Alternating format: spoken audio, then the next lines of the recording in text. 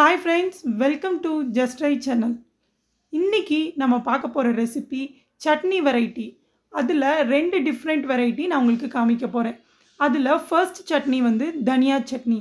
யூஸ்வலாக மல்லி காஃபி அப்படி வச்சு குடிப்பாங்க பார்த்துருக்கோம். உங்களுக்கு ஹெட்டேக் அதிகமாக இருந்தால் அது குடிப்பாங்க. இதை ஃபுட்டில் எப்படி பண்ணலாங்கிறத தான் நான் உங்களுக்கு ட்ரை பண்ணி உங்களுக்கு காமிச்சிருக்கேன். ஸோ அதுக்கு தேவையான பொருட்கள் என்னென்னு பார்த்துடலாம். ரெண்டு டொமேட்டோ ஒரு சின்ன துண்டு இஞ்சி ஒரு ஸ்பூன் ஜீரகம் ஒரு நாலஞ்சு பல் பூண்டு தனியா ரெண்டு ஸ்பூன் எடுத்திருக்கேன். வரமிளகா ஒரு ஆறு ஏழு எடுத்திருக்கேன். உங்களுக்கு காரம் அதிகமாக இருக்க மிளகானா அதுக்கேற்ற மாதிரி போட்டுக்கோங்க.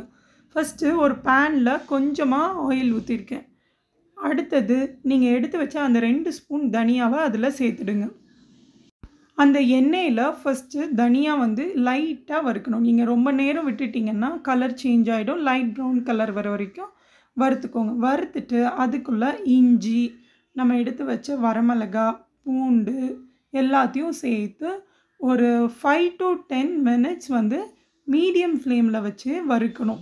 அப்போ உங்களுக்கு எல்லாமே அதில் ரோஸ்ட் ஆகிடும் நல்ல ஃப்ளேவர் உங்களுக்கு வறுக்கும் போதும் கிடைக்கும்.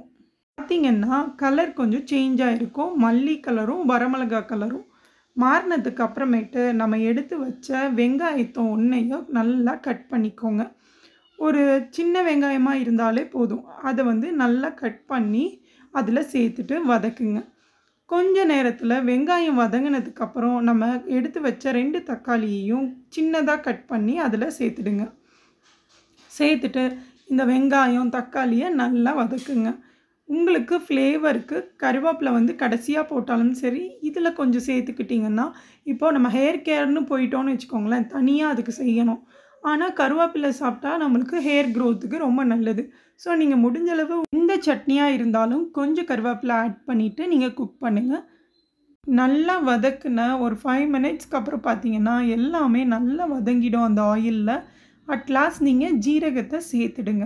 சேர்த்துட்டு ஆஃப் பண்ணிவிட்டு ஆற வச்சதுக்கப்புறம் கொஞ்சமாக சால்ட்டு சேர்த்து அந்த மிக்சரை நல்லா அடைச்சிடுங்க நல்லா ஃபைன் பேஸ்ட்டாக இருக்கணும். அதுதான் இம்பார்ட்டண்ட் நீங்கள் ஒழுங்காக அரைக்கலை அப்படின்னா அந்த மல்லி வந்து அங்கங்கே இருக்கும். ஸோ நல்லா நைஸாக கொஞ்சம் வாட்டர் விட்டு கூட நீங்கள் அரைச்சிட்டிங்கன்னா உங்களுக்கு தனியா சட்னி ரெடி ஆகிடும் அப்புறமேட்டு நம்ம வேணும்னா தாளிச்சிக்கலாம். இல்லாதவங்க தாளிக்காமல் கூட அப்படியே சாப்பிட்டுக்கலாம் தோசைக்கலாம். ரொம்ப நல்லாயிருக்கும் அடுத்து நம்ம பார்க்க போகிறது வேர்க்கடலை சட்னி.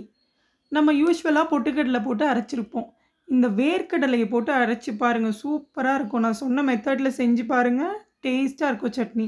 தேவையான பொருள் ஒரு ஆறுலேருந்து ஏழு பச்சை மிளகாய். கருவேப்பிலை கொஞ்சம் எடுத்திருக்கேன் தாளிக்கிறதுக்கும் இதில் அரைக்கிறதுக்கும். அடுத்தது பூண்டு ஒரு நாலுலேருந்து அஞ்சு பல் இங்கே தேங்காய் வேர்க்கடலை வறுத்து வச்சுருக்கேன் வேர்க்கடலை தோல் எடுத்து. எந்த அளவுக்கு தேங்காய் எடுக்கிறீங்களோ அதுக்கு ஈக்குவல் அளவு நீங்கள் வேர்க்கடலை எடுத்துக்கோங்க. ஃபஸ்ட்டு ப்ரிப்ரேஷன் பார்ப்போம். தேங்காவை சின்னதாக கட் பண்ணி மிக்சியில் ஆட் பண்ணிக்கோங்க. அடுத்தது நீங்கள் எடுத்து வச்ச பச்சை மிளகா காரத்துக்கு ஏற்ற மாதிரி போட்டுக்கோங்க. அதையும் ஆட் பண்ணிவிட்டு நம்ம எடுத்து வச்சா பூண்டு. பூண்டும் நம்ம தோல் உரிக்கணுன்ட்டுலாம் அவசியம் இல்லை. கொஞ்சம் கருவேப்பிலை நான் அப்போ சொன்ன மாதிரி கொஞ்சமாக ஆட் பண்ணியிருக்கேன் இதுலேயும். ஆட் பண்ணிவிட்டு நம்ம கொஞ்சமாக சால்ட்டு போட்டுட்டு நல்லா நைஸாக அரைச்சிக்கோங்க. இது வந்து நீங்கள் அரைக்கும் போது கொஞ்சம் வாட்ரு ஆட் பண்ணிக்கோங்க. நல்லா கட்டியாக வரும் உங்களுக்கு திக்காக வரும். தேங்காய் சட்னி நீங்கள் தண்ணியாக கொஞ்சம் சாப்பிடுவீங்க அப்படின்னா வாட்ரு கூட ஆட் பண்ணிக்கலாம். அடுத்தது நம்ம எடுத்து வச்ச அந்த கடலையை வறுத்த கடலையை இதில் ஆட் பண்ணிவிடுங்க ஆட் பண்ணிவிட்டு அகெயின் நல்லா மிக்சியில் போட்டு அரைச்சிடுங்க. அடுத்து நம்ம தாளிச்சிடலாம். அதுக்கு ஒரு பேனில் கொஞ்சமாக ஆயில் ஊற்றிட்டு ஒரு கால் ஸ்பூன் கடுகு போட்டுருங்க. கடுகு நல்லா வெடித்ததுக்கு அப்புறமேட்டு ஒரு கால் ஸ்பூன் அகைன் நீங்கள் உளுந்தம்பருப்பை ஆட் பண்ணிக்கோங்க. உளுந்தம்பருப்பு ஆட் பண்ணி ஒரு ஃபைவ் மினிட்ஸ்க்கு அப்புறம் பார்த்தீங்கன்னா கோல்டன் ப்ரௌன் கலர் வரும். அந்த ஸ்டேஜில் இதில் ஆல்ரெடி காரம் நம்ம சேர்த்தாலுமே அந்த கடலை போட்டதுனால கொஞ்சம் ஸ்வீட்னஸ் இருக்கும். அதில் நீங்கள் ஒரே ஒரு வரமிளகாவை மட்டும் குட்டியாக பிச்சு போட்டுருங்க. அப்புறம் கருவேப்பிலையும் ஆட் பண்ணி நல்லா ஒரு டூ மினிட்ஸ் பாருங்கள் அப்புறம் அதை எடுத்து அப்படியே அந்த சட்னியில் கொட்டிடுங்க. பார்க்கவே ரொம்ப அழகாக இருக்கும். இதை நல்லா நீங்கள் ஃபுல்லாக ஆயில் எல்லா இடத்துலையும் படுற மாதிரி ஒரு கிண்டி விட்டுருங்க.